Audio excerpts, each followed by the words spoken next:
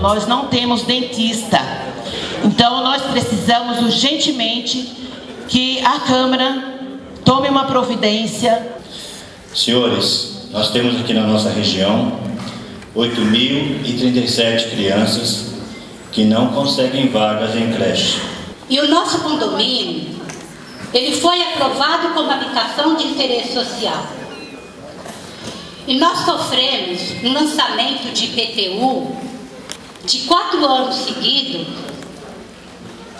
que hoje dá mais de R$ 3.500 por família para pagar esse IPTU. Dezenas e dezenas de ônibus se apresentam no mesmo horário para recolhimento às garagens.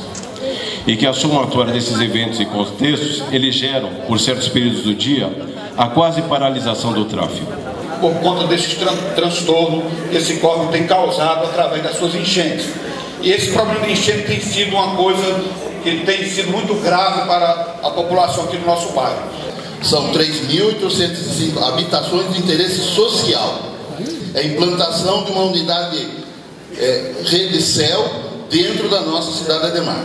São 5.580 vagas para educação infantil, da criação do parque e mais o residencial Espanha é fundamental para a nossa região. O que nós precisamos é que os vereadores consigam trazer o dinheiro para que essa obra aconteça.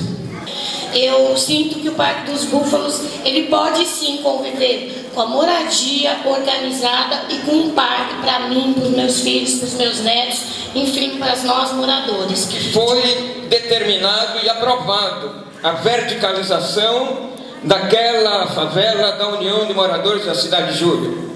E isso fazem já 15 anos passando.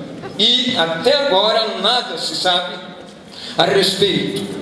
Sete Campos, eu tenho aqui uma série de fotografias que é, foram tiradas, já foram encaminhadas, não só dos Sete Campos, mas dos escadões quebrados aqui da cidade de Júlia, enfim, outras coisas a mais a rua Ayrton Senna, que está só o bagaço. No Campo da Pedra, aqui no Doroteia, tem um terreno lá, que era para 680 unidades habitacionais, que foi gasto uma fortuna para sondagem do solo, para é, tudo a documentação.